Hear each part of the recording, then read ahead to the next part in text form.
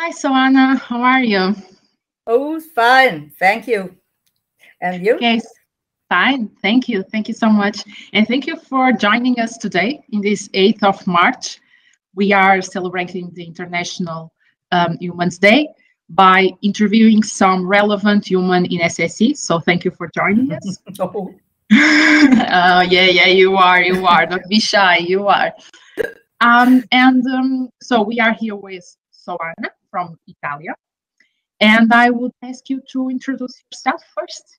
Yes, I'm Soana Tortora. Uh, I'm from Italy, and I'm working as a um, Solidarius in some activity of training and uh, uh, in Italy and uh, abroad.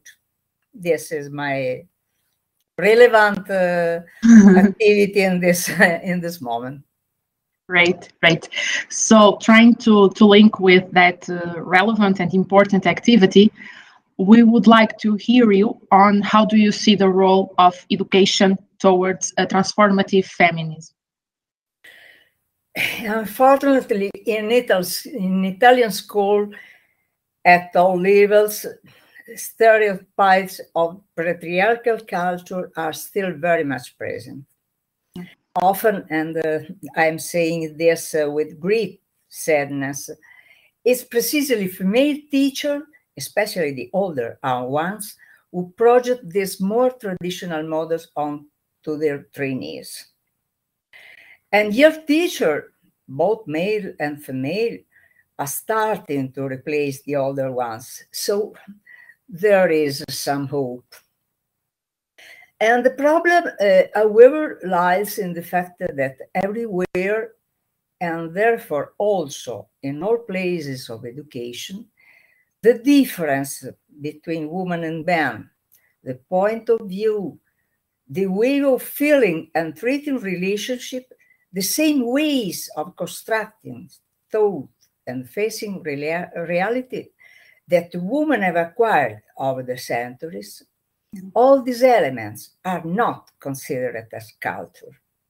They are not considered as factor of social, political, and economic transformation. And this uh, as if the content of the knowledge that's taught and written in books and are now available on the web was uh, neutral and did not pass through the bodies of those we offer it and change it with future generation, putting themselves personally at risk. And we know that this is no so. Well, I believe that this capacity for change, for practicing reciprocity, giving and receiving, which is typical of women, is a great driving force for transformation in a training which is also, as we know, action. And we can practice it day to day, not only in the formal place of training. Mm. Okay, yeah. So this this kind of of um, general change is also important for education, and hopefully we will change some minds towards education. Um, and based on this relevant experience and your life story, could you tell us a professional or personal story where being a woman was decisive to a transformative experience? My age allowed me to experience also personally, personally uh, the season of feminism. And it is a, has been a tiring but also exciting process.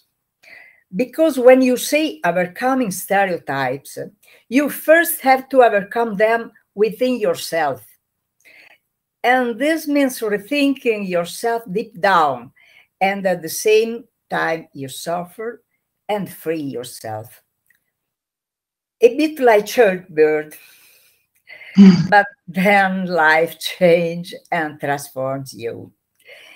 And so you try to live this adventure in your daily life, in your personal life, as well as your professional life in wider weather fields.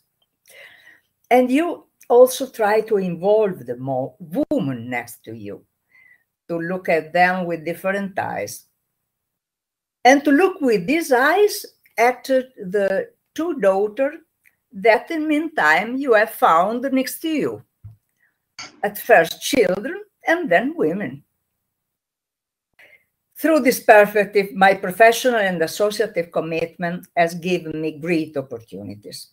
I have been through different times and places, from the pain of the stories of the Bosnian women victim of ethnic rape in the former Yugoslavia, to the desire for the redemption of those who, in the Brazilian favelas or the inner Argentine suburb of the 20 and 2 economic crisis, have searched for redemption in the collaboration and the sisterhood of the solidarity economy.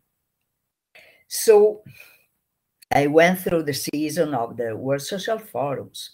And then also the slowness of a process of global transformation that uh, with difficulty astride and is trying not to be consumed by the all-male patriarchal power of rampant neoliberalism.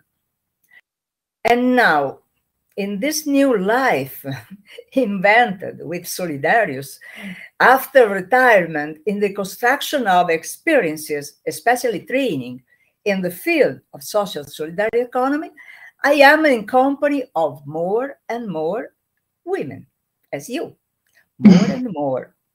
And I see this as a promising sign of transformation. Yeah, for sure.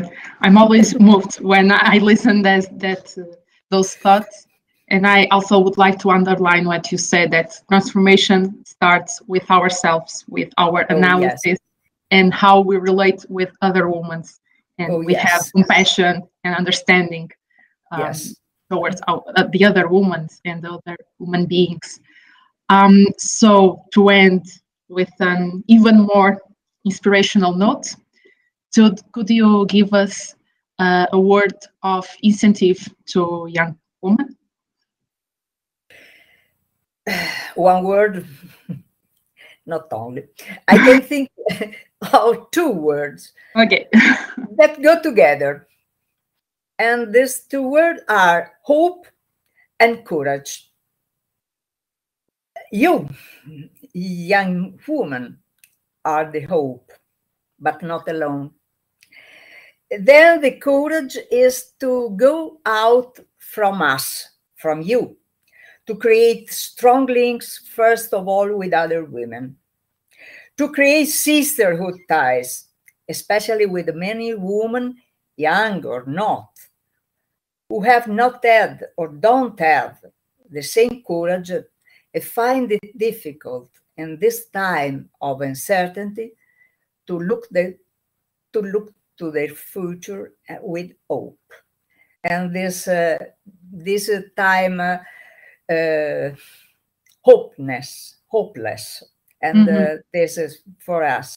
It's a not good time. No, not at all. But at least we have you with your inspirations. Yes. So that's a, that's a great way to end this with hope and courage.